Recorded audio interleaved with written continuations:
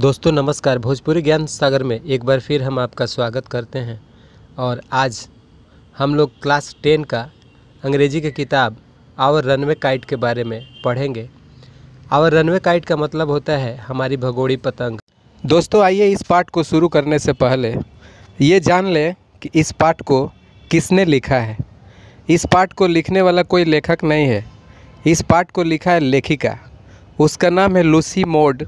मोंटेगोमरी। ये कनाडा की रहने वाली थी और ये विख्यात धारावाहिक उपन्यास एनी ऑफ़ ग्रीन गेबल्स के लिए प्रसिद्ध थी। उन्होंने बहुत सारे उपन्यास लिखे हैं, कविताएँ लिखी हैं छोटी छोटी कहानियाँ लिखी हैं। 1935 साल में वह ब्रिटिश सेना की एक उच्च पदाधिकारी पर नियुक्त हुई थी। इस पूरे पाठ को हम लोग तीन यूनिट में डिवाइड करके पढ़ेंगे। तो आइए शुरू करते हैं unit number one of course there was nobody for us to play with on the big half moon we just had to make the most of each other and we did of course का मतलब होता है निसंदेश तो वहाँ पर हम, हमारे संग बड़े आधा चंद्रमा के टापू पर और कोई भी खेलने के लिए नहीं था। हम लोग अपने में ही जितना हो सकता था वो मगन रहते थे। यहाँ पे लेखिका ये कहना चाहती है कि उस टापू पर केवल इसका एक छोटा सा ही परिवार रहता था और उन बच्चों के साथ खेलने वाला और कोई दूसरे बच्चे नहीं होते थे। We live on the big half moon island we are father and Claude and I and aunty Isa and Mimi and Dick हम लोग उस बड़े अर्ध गोलाकार चाँद के टापू पर रहते थे। हम लोग का मतलब होता है मेरे पिता और क्लाड और मैं और ईसर आंटी और मिमी तथा डिक।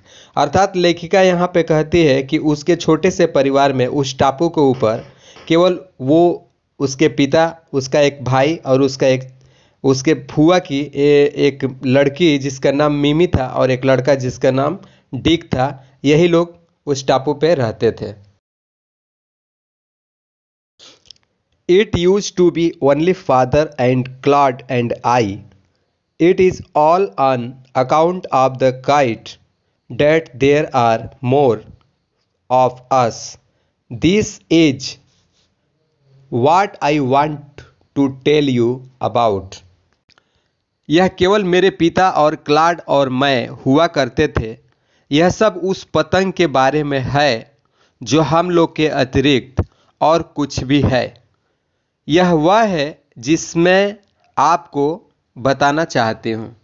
इन पंक्तियों में कभी ये बताना चाहती है कि उनके परिवार के अतिरिक्त एक उसमें पतंग भी हुआ करता था और उसी पतंग के ऊपर ये सारी कहानी डिपेंड करती है।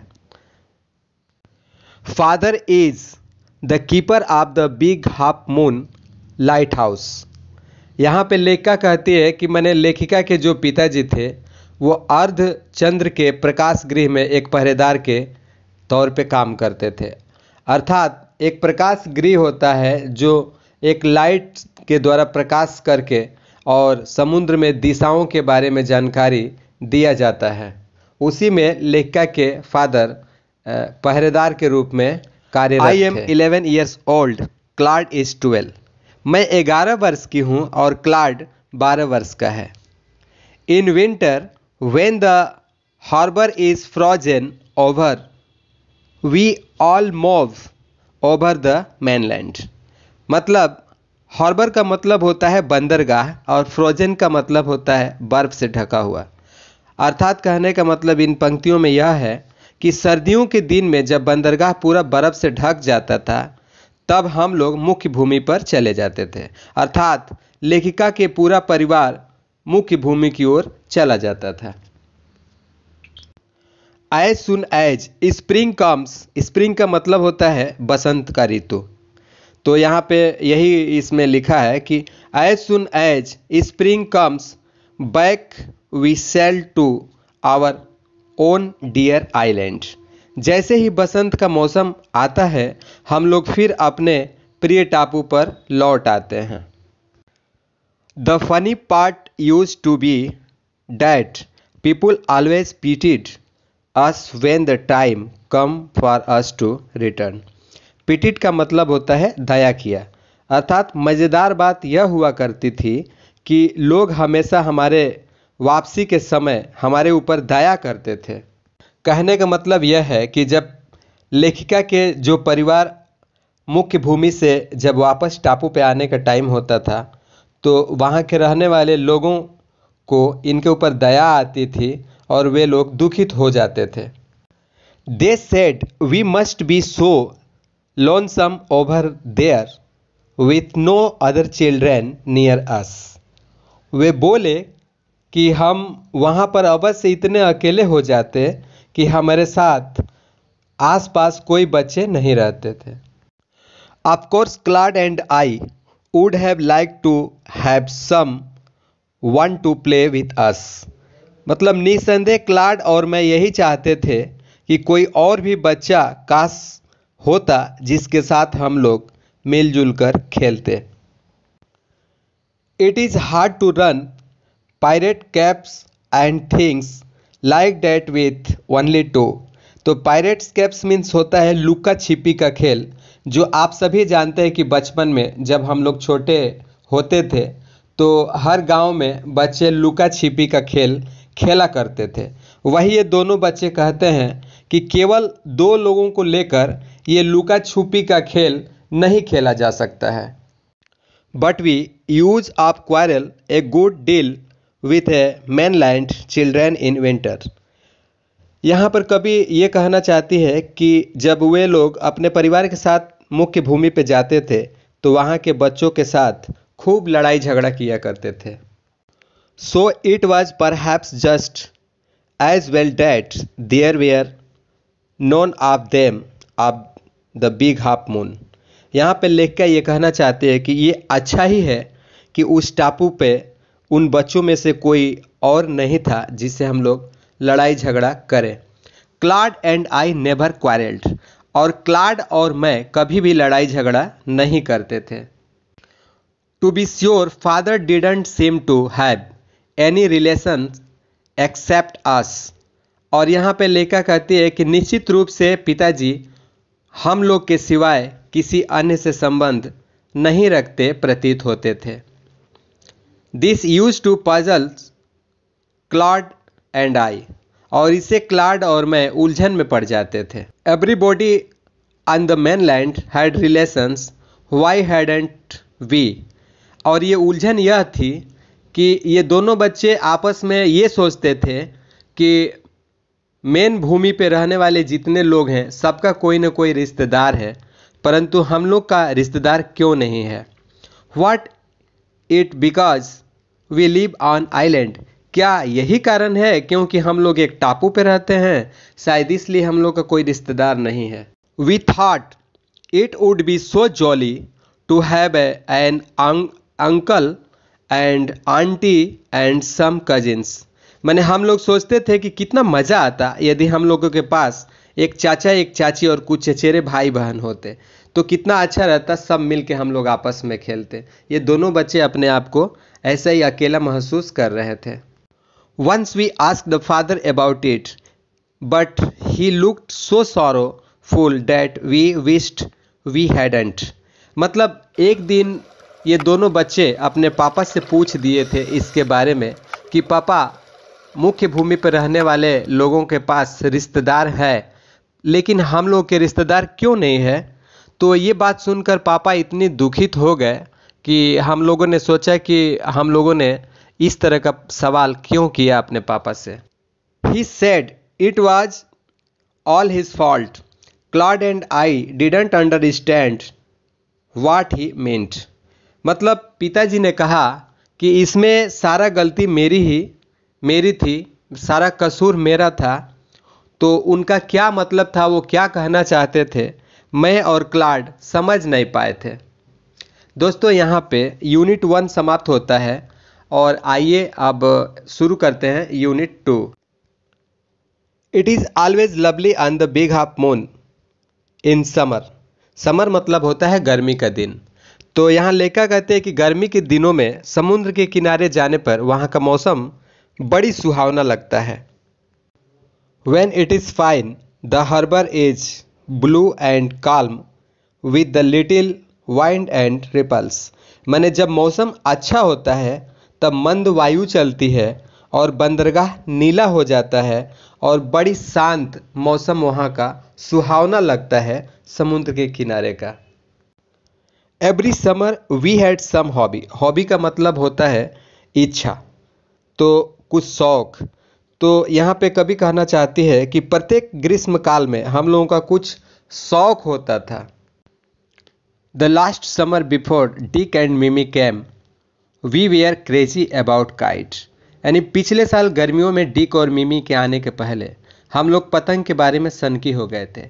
अर्थात कहने का मतलब कि पिछले साल जब मिमी और डिक नहीं आए थे तो हम लोग पतंग का दीवाना हो गए थे, पतंग के बारे में पागल हो गए थे।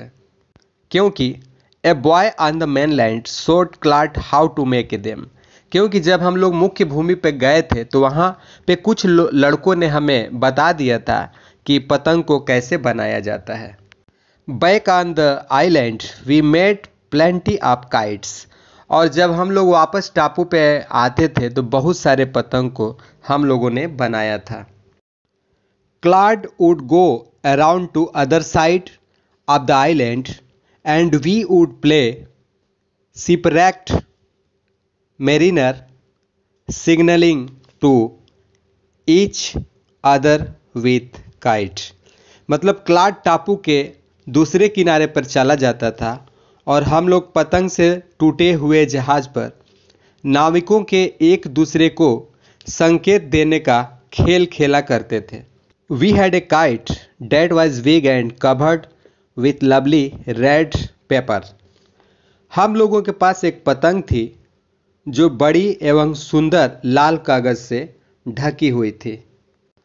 We pasted gold tinsel star all over it and had written our names full on it Claude Leete and Philippa Leete Big Half Moon Lighthouse लेखिका मतलब कहना चाहते हैं कि इसके ऊपर सब जगह हम लोग सुनहले चमकीले तारों को गोद से चिपका दिए थे और अपना पूरा नाम लिखे थे। क्लाड लीटे एवं फिलिपा लीटे। और अपना पता भी उस पतंग के ऊपर हम लोगों ने लिख दिया था। विशाल, अर्ध चांद्र, प्रकाश, गृह। One day there was a grand wind for kite flying मतलब एक दिन बड़ी सुंदर हवा बह रही थी। पतंग उड़ाने का मौसम था उस दिन।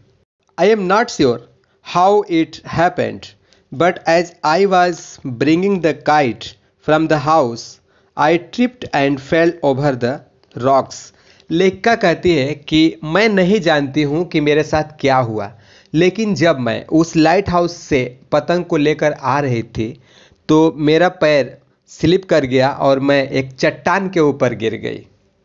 My elbow went clear through the kite making a big hole मतलब लेखा कहते हैं कि जब वह पतंग को लेकर के बिग हाउस से आ रही थी तो उसमें, उसको जब पैर में ठोकर लगा और वो चट्टान पे गिर गई तो उस पतंग के ऊपर में इसका केहनी अंदर घुस गया, जिससे पतंग फट गई और पतंग में एक बहुत बड़ी सी छेद हो गई थी। We had to hurry to fix the kite if we wanted to send it up before the wind fell पतंग को ठीक करने के लिए हम लोगों को बड़ी शीघ्रता थी। यदि हवा के रुकने से पहले हम लोग इसे ऊपर भेजना चाहते थे। We rushed in to the lighthouse to get some paper rushed मतलब होता है दौड़ना। तो यहाँ लेखक कहते हैं कि हम लोग कुछ कागज़ प्राप्त करने के लिए उस प्रकाश गृह की ओर तेज़ी से दौड़ दौड़ गए। We knew there was no more red paper वहाँ जाने के बाद पता चला कि वहाँ पे कोई भी लाल रंग का कागज़ नहीं था।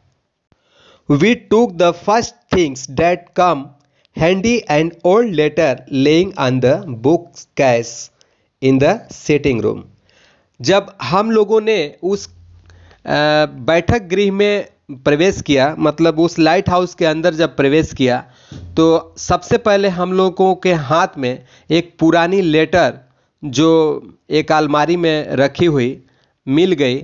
उसको हम लोगों ने ले लिया। जो मैंने, जो हमको पहले मिला, उसे हम लोगों ने ले लिया था। We patched the kite up with the letter a sheet on each side and dried it by the fire मतलब लेका उस पतंग के ऊपर, उस फटी हुई चिट्ठी को चिपका दी, और चिपकाने के बाद से उसको आग से सुखा भी दिया। अब वो चिट्ठी उस पतंग के ऊपर चिपक गई थी।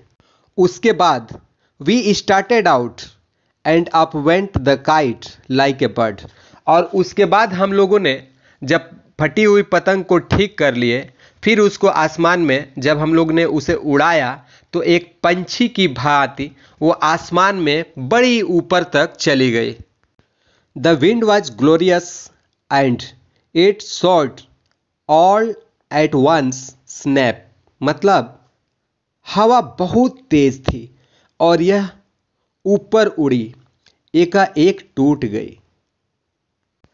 And there was Claude standing with a bit of cord in his hand looking foolish our kite had sailed away over to the mainland और अचानक यह हुआ कि जब क्लॉड उस पतंग को उड़ा रहा था और पतंग आसमान के ऊपर चिड़िया की भांति हवा में बातें कर रही थी तो अचानक ऐसा हुआ कि पतंग कट गई और क्लाड के हाथ में केवल बची तो क्या? केवल रस्सी। और क्लाड बैकूफ की तरफ़ चुपचाप वहाँ पे खड़ा था, पतंग को देख रहा था और पतंग ज़मीन के तरफ़ चली गई। मैंने मुख्य भूमि के तरफ़ ज़मीन चली गई। जब इस घटना को एक महीना बीत गया तो इस कहानी में ज़बरदस्त मोड़ आ जाता है। दोस्तों समाप्त होता आगे देखिए मज़ा आ जाएगा। अब हम लोग मिलकर मंथ लेटर तीन पढ़ते हैं। लेटर कम फॉर फादर मतलब एक महीना जब बीत गया तो पापा के नाम पर एक चिट्ठी आया था।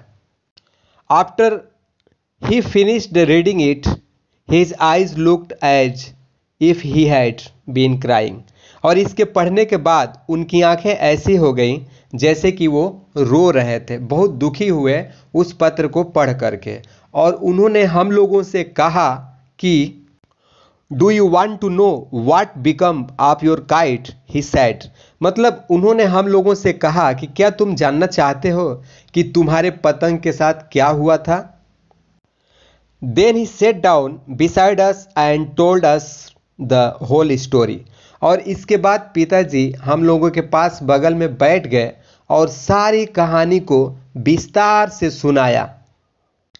पिताजी ने कहा कि father had a brother and a sister. मैंने पिताजी ने हम लोगों से कहा कि मेरे एक भाई और एक बहन थे। He had quarrelled with his brother and left the home और उन्होंने यह भी बताया कि वे अपने बड़े भाई से झगड़ा भी किए और झगड़ा करने के बाद नाराज़ होकर घर से भाग आए थे। मैंने घर छोड़ करके चले आए थे। आगे पिताजी ने कहा कि years afterward he felt sorry and when he went back he found his brother had died, and he could not find his sister. और उन्होंने कहा कि कुछ साल बीतने के बाद उन्हें एहसास हुआ कि सारी गलती उनकी थी इसलिए उन्होंने क्षमा मांगने के लिए अपने घर को वापस गए और वहाँ जाने के बाद इनको पता चला कि इनके बड़े भाई साहब अब इस दुनिया में नहीं थे। और इनकी जो बहन थी, उन बहन को भी इन्होंने नहीं पा सका, उन्हें खोज भी नहीं पाया कि वो बहन कहाँ चली गई थी। फिर पिताजी नाराज़ निराश होकर वापस आ गए थे। The letter father had just received was from his sister Aunt Esther mother of Dick and Mimi अभी अभी पिताजी को जो चिट्ठी प्राप्त हुई थी, वह चिट्ठी उनकी सगी बहन ईस्टर और हम लोगों की फुआ लगेंगी, उन्होंने ही लिख करके भेजा था, या भेजी थी। One day when Dick and Mimi went out in the woods they discover the kite on the top of the tree and carried it home अब ये मिमी और डिक कौन है? ये मिमी और डिक हमारे पिताजी के जो बहन थी, उनके बेटा और बेटी है। तो ये दोनों बच्चे एक दिन खेलते हुए जंगल की ओर जा रहे थे। तो इन लोगों ने देखा कि पेड़ की डाली पर एक फटी हुई पतंग अटकी हुई है। तब इन्होंने उस पतंग को नीचे उतारा और उसे वापस घर लेकर के गए।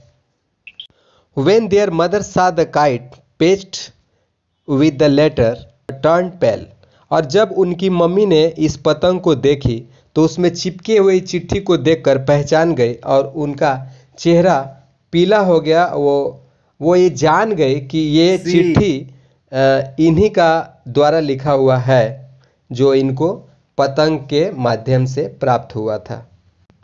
It was very letter she had once written to her brother मतलब ये वही पत्र था जो एक बार इन्होंने अपने भाई को लिखी थी। Philippa was her mother's name and Claude was her father's she knew who we must be मैंने फिलिपा उनकी माँ का नाम था और क्लाड उनके पिता का। वह जान गई कि हम लोग कौन हैं और कौन हो सकते हैं। सो so, सो so का मतलब होता है इसलिए। तो so she sat down and wrote a Big Half Moon and father receive her letter.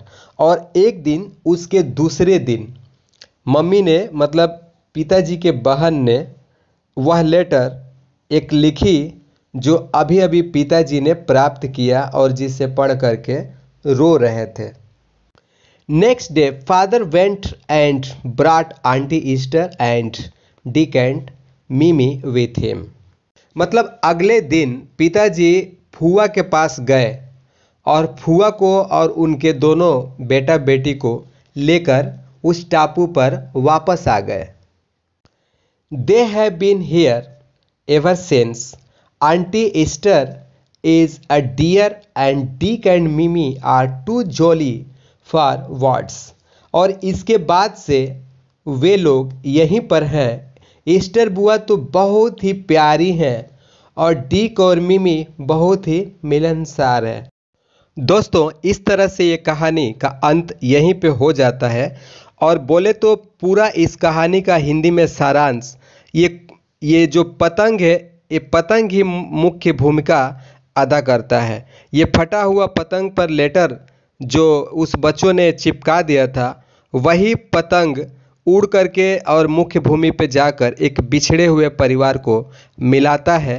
दोस्तों, अगर ये ये जो हमने आपको पढ़ाया, अगर आपको पसंद है तो मेरे चैनल को भी सब्सक्राइब करें। Thank you. मिलते हैं अगले वीडियो में और प्रश्न उत्तर के साथ। नमस्कार।